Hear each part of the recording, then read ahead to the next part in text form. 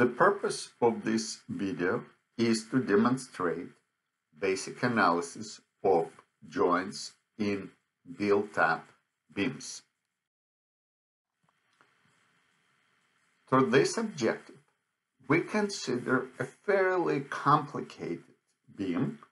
It involves two T-sections at the top, at the bottom, two plates, and the beam is connected by bolts placed at a distance s. The spacing between the bolts is 8 inches. The dimensions of the T's and the plates are given on the figure and our task is to determine the maximum shear force such a beam can sustain provided that each bolt can carry the load up to 15,000 pounds. Let us start with identifying uh, a relevant free body diagram. So first, let me copy the cross section. And now I would like to identify the low T. The low T will be eventually the free body diagram because what I will do, I will cut through the bolts on both sides of the beam. And now if I look at this low T, it is probably not difficult to sort out that the area A star that will be exposed as a result of this cut is shown in yellow and we denote it A star.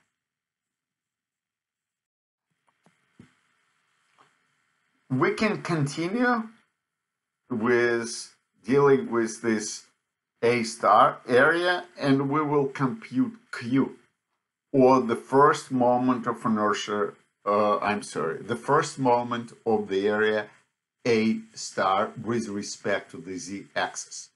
To this end, I show the z-axis. You could see that the top of the T is shifted with respect to the z-axis by one inch. And as a result, Q could be computed as follows. Here I show the z-axis on the plane. So here's my cube. I'll start with this rectangle.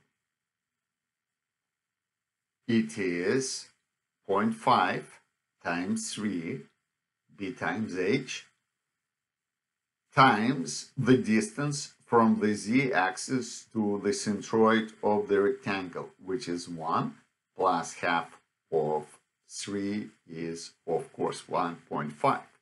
Now, for the bottom rectangle, it is 3 is the base, half is the height, and then the distance from the z-axis to the centroid is 1 plus 3 plus 0.25, which is half of 0.5. So we get 10.125 inches cube for cube. Let me compute the moment of inertia for the entire cross section. So here we go. So on this figure, I show the entire cross section here. On this, I'll only show the T, okay? But the moment of inertia will be important to calculate for the entire cross section, not just for T. To make my calculations a little bit more clear, let me copy the result for Q.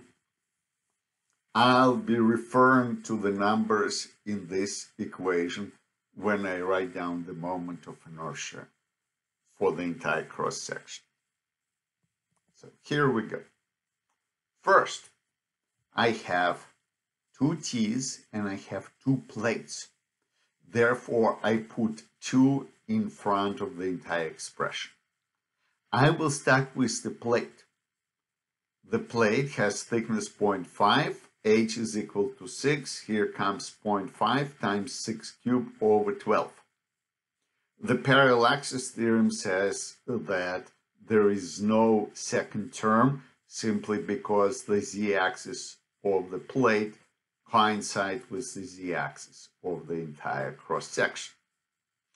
Now we come to the bottom T. So first is the total rectangle, 0.5 times 3 cubed over 12, plus 0.5 times 3 is the area, plus 2.5 squared. Please pay attention, 0.5 times 3, the area, times 2.5 squared. For the lower rectangle, 3 times 0.5 cube over 12.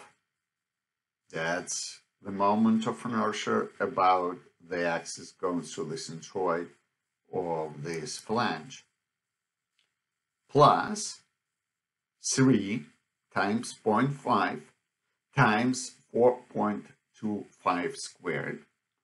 And I get 93.25 inches to the fourth.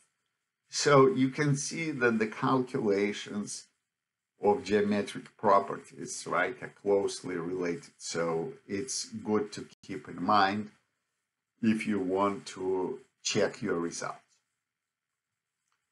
So let us move further. Now I'm ready to draw a free body diagram.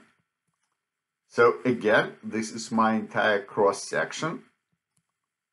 And this is my T, bottom T. I show here the force n star of x. So that's the resultant of the stresses uh, sigma acting on the cross section x. The length of this element along the x axis is s, so the other force is n star x plus s, and the total force, shear force transmitted by the joints involves two bolts, therefore FB and FB, these are the bolts, right? This bolt and on the other side is a bolt. And now I can write down that delta F, that's the force transmitted by the joints, is equal to 2FB, is equal to the difference between n star of x plus s and n star of x, and this is equal to this expression, right? So the last part is standard.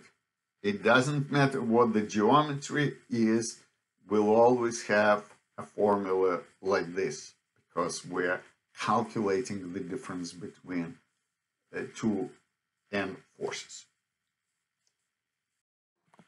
We can do the final details.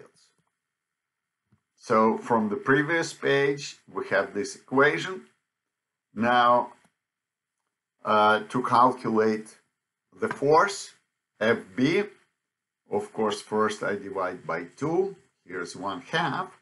And now I divide by S and multiply by S. The purpose for this is very simple. I can approximate this expression by the shear force. So 1 half is retained. This part becomes the shear force. And then I have S Q over IZ. And so this gives me the result that the shear force is equal to